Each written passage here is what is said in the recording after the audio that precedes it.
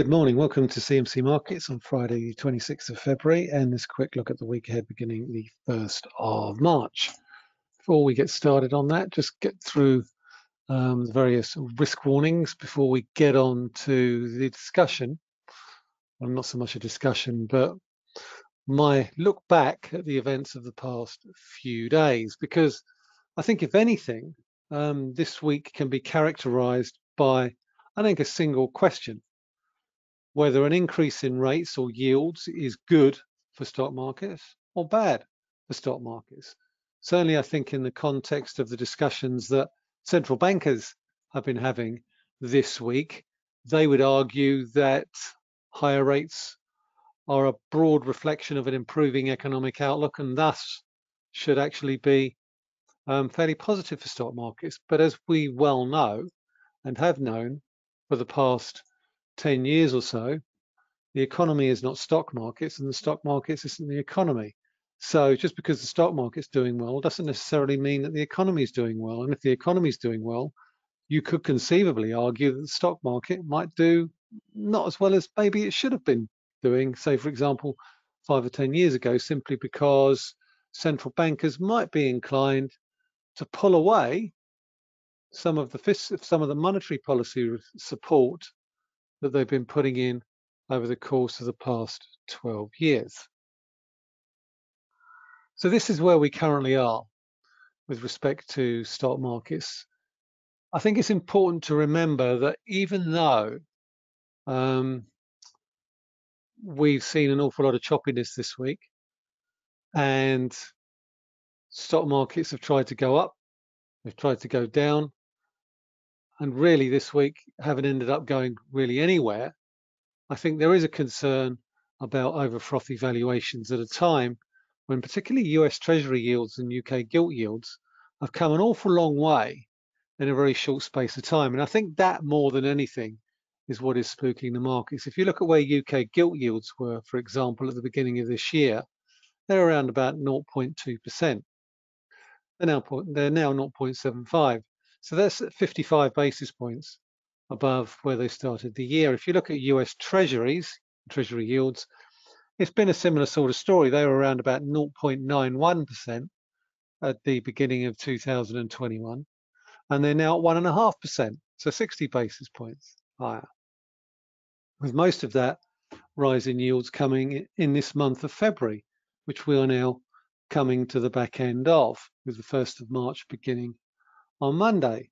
So I think more than anything, it's not so much the fact that rates are going up, but it's the speed that they're going up. And you've got a stimulus plan, a US stimulus plan that's due to be pushed through um, uh, the US Congress over the course of the next week or so, an extra $1.9 trillion on top of the $900 billion that we saw pushed through at the beginning of January. And I think there's a there's a perception or a fear that maybe um, the fiscal side is probably doing too much lifting, and you could see an economic surge over the course of the next six months. Because we're certainly not going to get it over the next three, because um, restrictions will still be in place. And I think one thing that we can, well, I think one thing that we can um, acknowledge over the course of the past few days is the massive rise that we've seen in copper prices from uh, where we were at the beginning of this year. Now, there does appear to be some evidence potentially that copper may have topped out. Now, if copper has topped out, that could potentially be bad news for stock markets because if we look at the way stock markets have gone this year, and we are still up for February. So despite all the volatility that we've seen this week, February is still set to be a positive month for the FTSE, the DAX, and the S&P, despite all the hysteria about the big declines that we've seen um, this week, we're still up on the month. Nonetheless, canary in the coal mine could be a potential reversal in copper and a key day reversal on the daily chart. So I'll be paying particular attention to the copper price in the context of whether or not we can go higher in stock markets. Now, there could be a divergence starting to take place, but we've seen big gains also in other base metal prices on the basis that um, we're going to see a significant shortfall in supply relative to demand for all those renewables um, that the copper that copper is going to be used in, in terms of batteries, electric cars, solar panels, wind turbines, anything that conduct an electric current. Also seen Brent prices um, move higher over the course of the past few weeks. We can certainly see that here, just shy of $70 a barrel. Um, $66 a barrel, I think, has been the high. We've got an OPEC meeting coming up over the course of the next few days. In fact, I think it's next Thursday. And this is something, again, that we need to be aware of. At the moment, OPEC Plus has been broadly in agreement about keeping the production curbs exactly where they are to basically try and pinch off too much supply. Now that prices are above $60 a barrel, you could see some cracks start to open up between some of the smaller countries who want to take advantage of higher prices by pumping out more oil into the market. And that could well act as a headwind for crude oil prices over the course of the next few days and weeks. That would also be welcome for inflation expectations. If we start to see evidence of a topping out in commodity prices, which have been which are back at levels last seen in 2011, 2012, particularly where copper is concerned. So those are the two things, two, two key commodities that I will be paying attention to over the course of the next week or so. It's also a big week for macro. Um, we've got non-farm payrolls coming up. Before I come on to that, let's have a quick look at the FTSE 100. As we can see, um, despite the choppiness of the past few days, we haven't really broken out of the range that we've been in um, since the beginning of February. Um, we're still above the lows, and even though we've come down from the highs in the middle of the month, we have the middle of the month, we actually haven't come down too far. And actually, we found support um, every day this week around about 65.40. So based on that, um, the downside for the FTSE 100 at the moment uh, looks fairly limited. And why do I say that? Given that I'm concerned about highs in copper and um, oil prices. Well, ultimately, while the FTSE 100 is very um, susceptible to moves in copper and crude oil prices, it's also not a complete proxy for them. Um, one of the one of the key one of the key um, beneficiaries of the past week or so has been banks um, from a much steeper yield curve. We've also seen travel and leisure pick up quite significantly over the course of the past few days. And we've also seen retailers pick up as well. And the FTSE 100 has an awful lot of them. So I think overall, the FTSE 100, uh, my bias for the FTSE 100 still remains more positive than negative.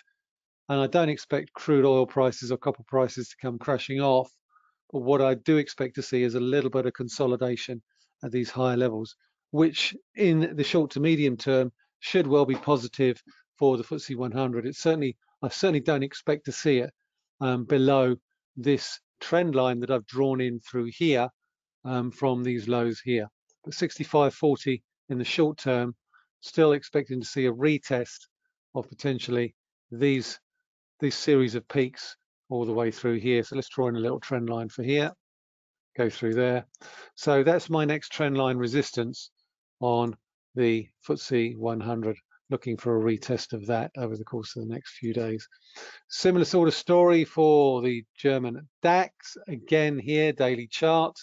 Yes, we have made marginal new lows, but what I think is significant about this particular chart here is that every time we've gone lower, these long lower shadows would appear to suggest that there's fairly decent demand anywhere near 13,600.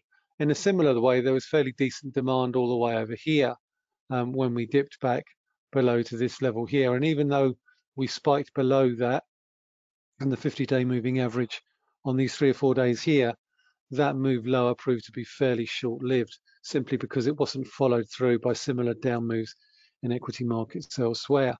S&P 500, same thing here, very much in the uptrend that we've been in over the course of the past few days and weeks. If we look at the weekly chart to see whether or not the candles are telling us anything there, not so much, certainly a little bit of a rollover, may well see a retest of 3,600. But I think if we are going to see a correction in equity markets, then I think the the bigger correction is going to come in US markets rather than rather than European markets more broadly. The Nasdaq, I think, is going to be very important in the overall scheme of things. This 12,700 level here, which thus far has held, but um, is acting as a very, very key support, and we have broken below the 50-day moving average. So the Nasdaq is flashing red.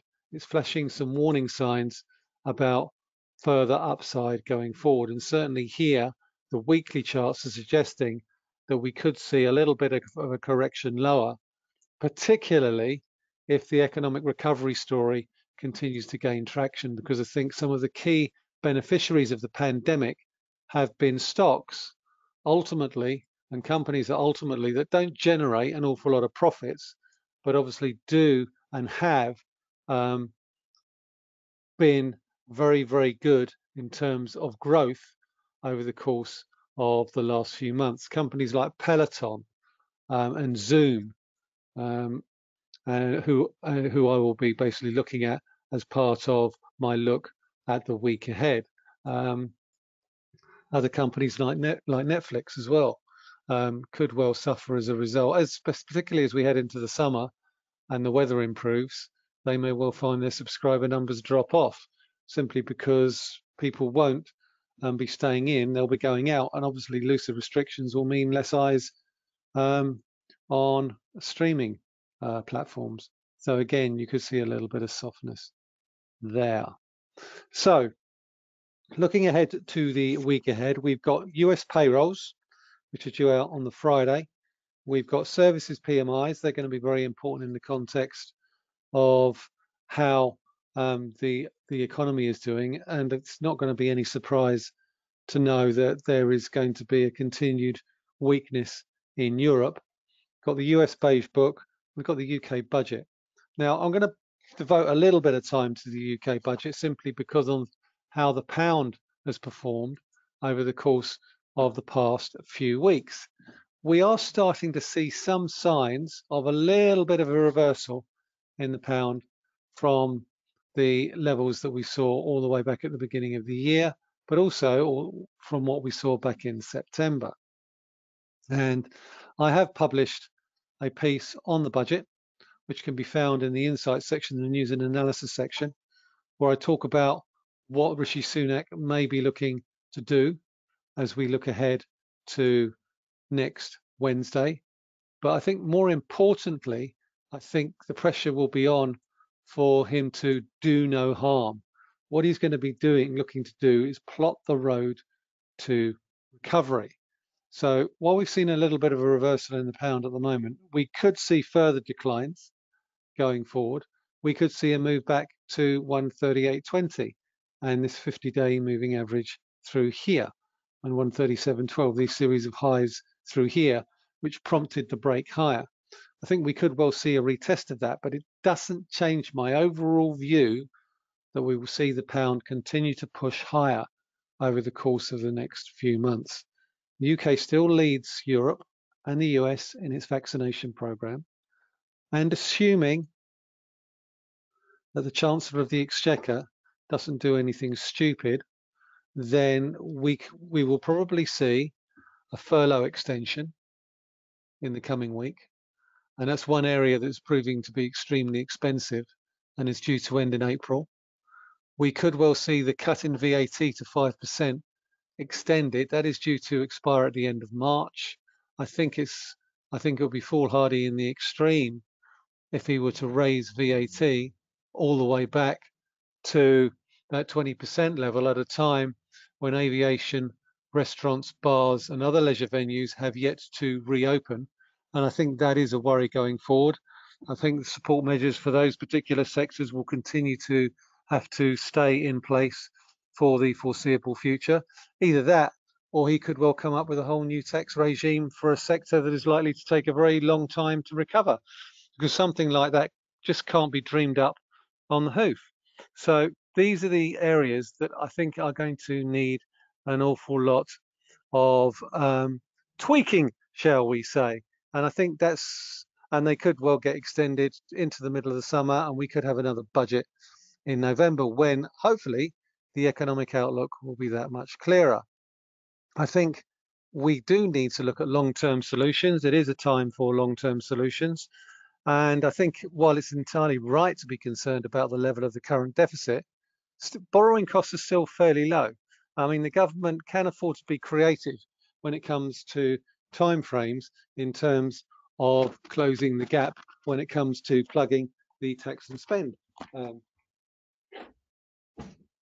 the, the, the, the, tax and spend gap. Um, he could look at new he could look at new long-term funding or savings vehicles.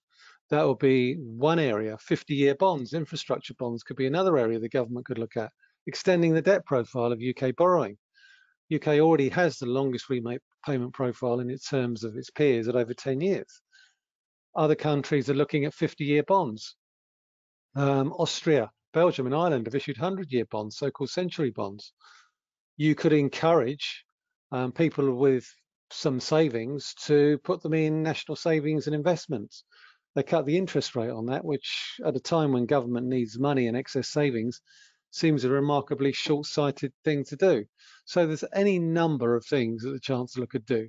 So ultimately, I think when we look at the pound, um, the outlook will continue to be fairly positive.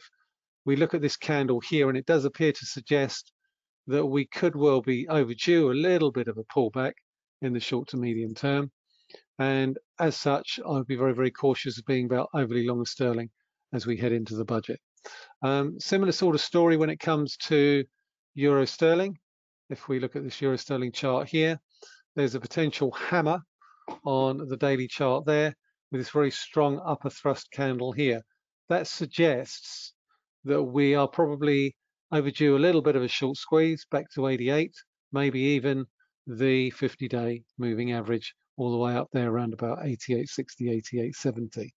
But I'm still of the opinion that euro sterling is likely to go lower, but we could well be due a little bit of a pullback in the short to medium term.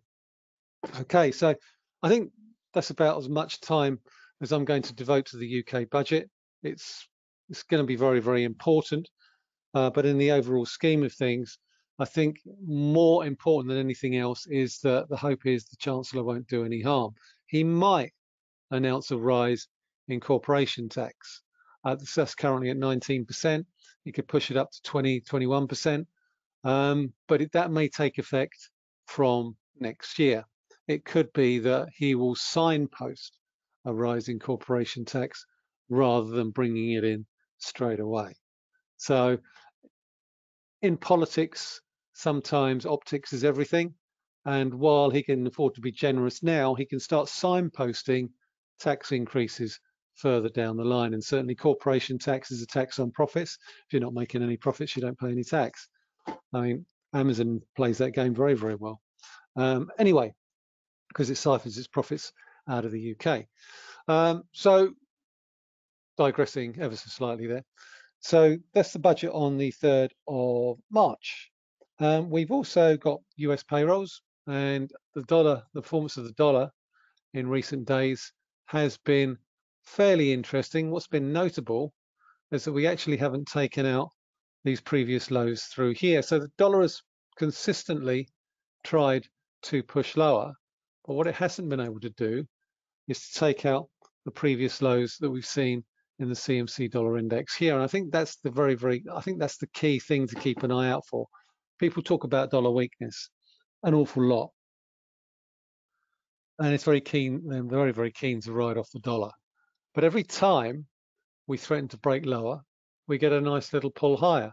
And we've got what it looks like a bit of a bullish reversal here, which suggests again that we could see further dollar upside. If that's the case, then the euro may well find it very, very difficult to go higher.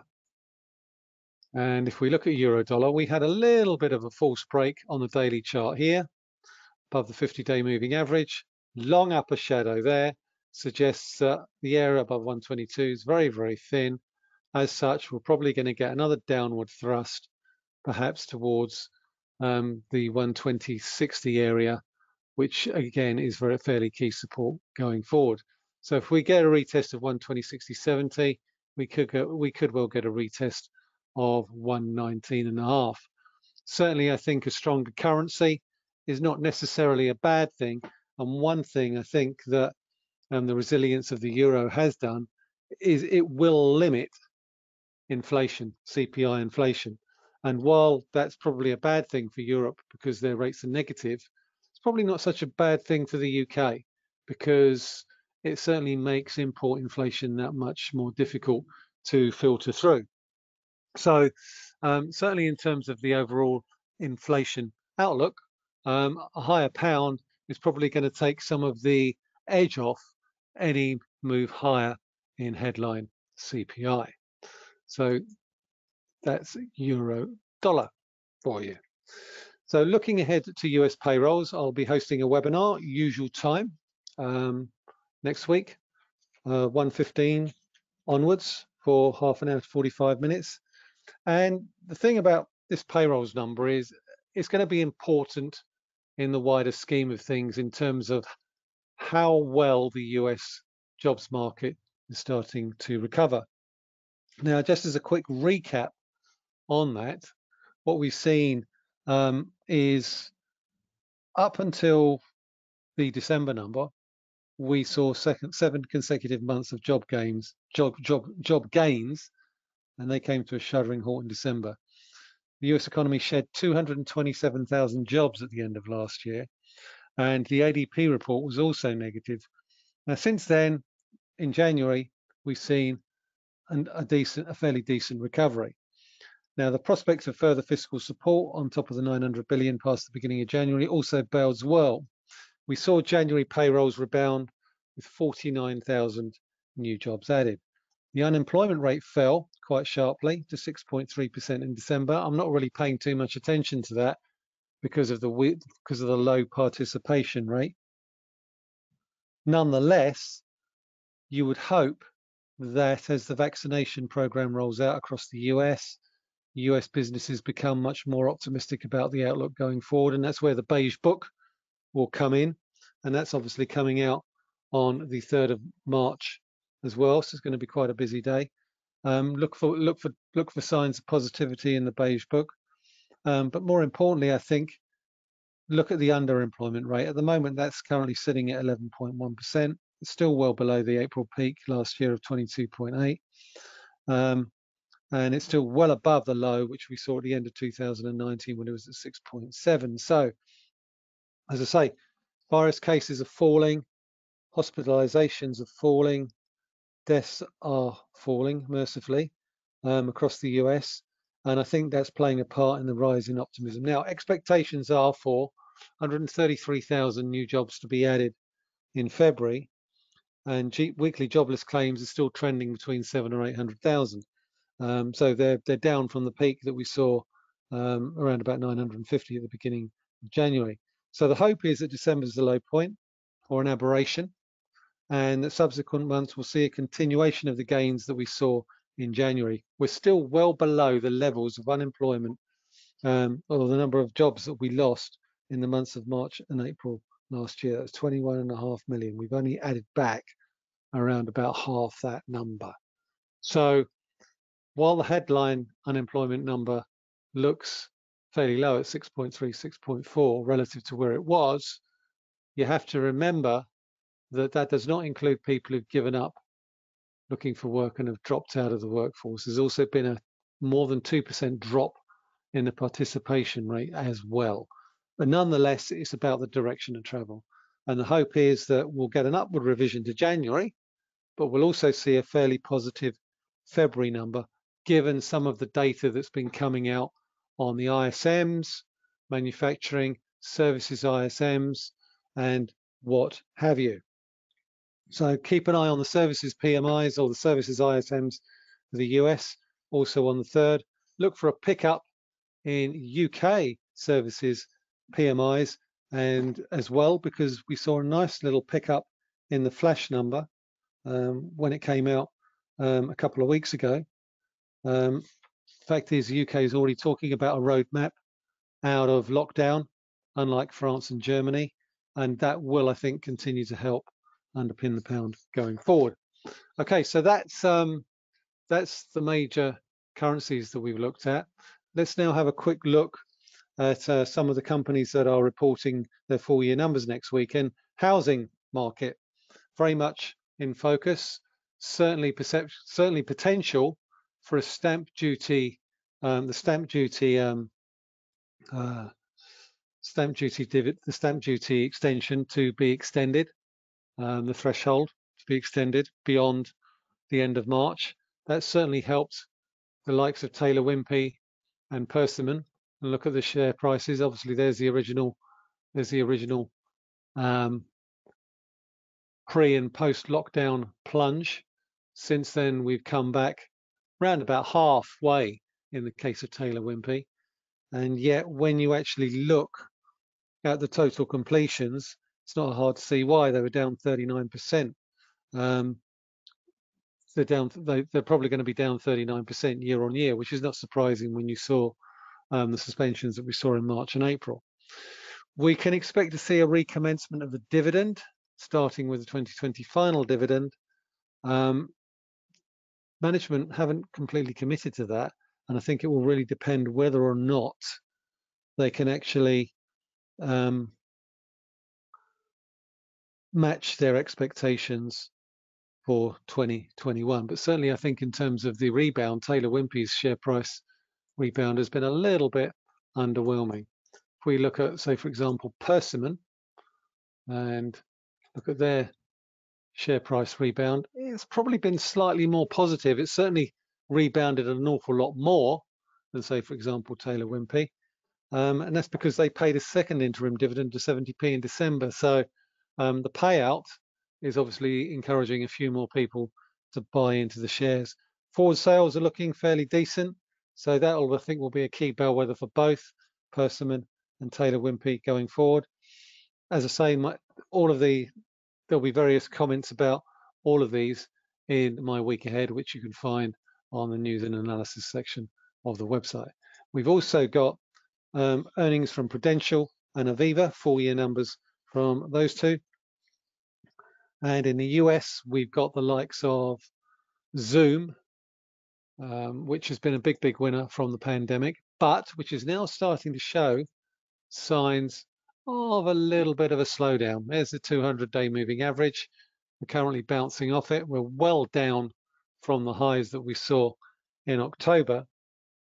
And I think there are there's, there's big questions being asked about the fact that whether a valuation of around about 120 billion dollars is really um, is really uh, credible for a, for for a company that doesn't even turn over a billion dollars a year. So, um, sorry, sorry, a billion dollars a quarter. So, um, I think that really is the key question. When you're turning over less than a billion dollars a quarter, is it really credible to have a market cap of around about 120 billion?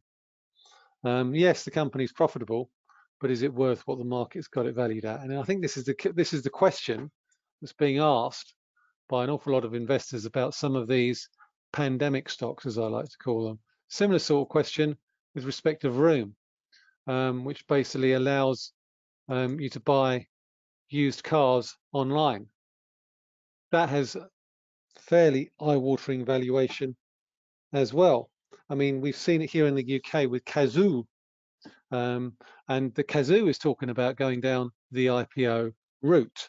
Um, spending lots of money on shirt sponsorship in the Premier League is Cazoo, um, and uh, looking to take advantage of the IPO boom that we saw in the US last year and with Vroom. The big difference with Vroom is that it's not making any money.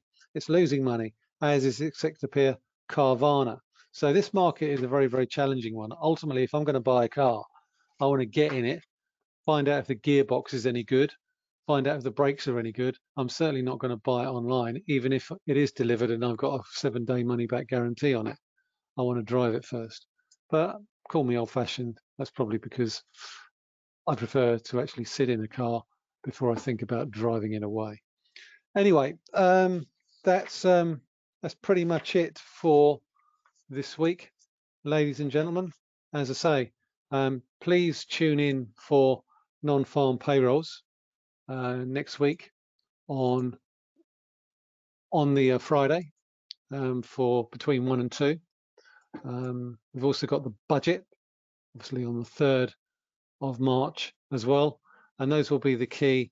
Those will those will be the the two key items on the agenda, along with OPEC, obviously, on Thursday. Otherwise, thanks very much for listening, ladies and gentlemen. Have a great weekend and speak to you all same time, same place next week. Thanks very much.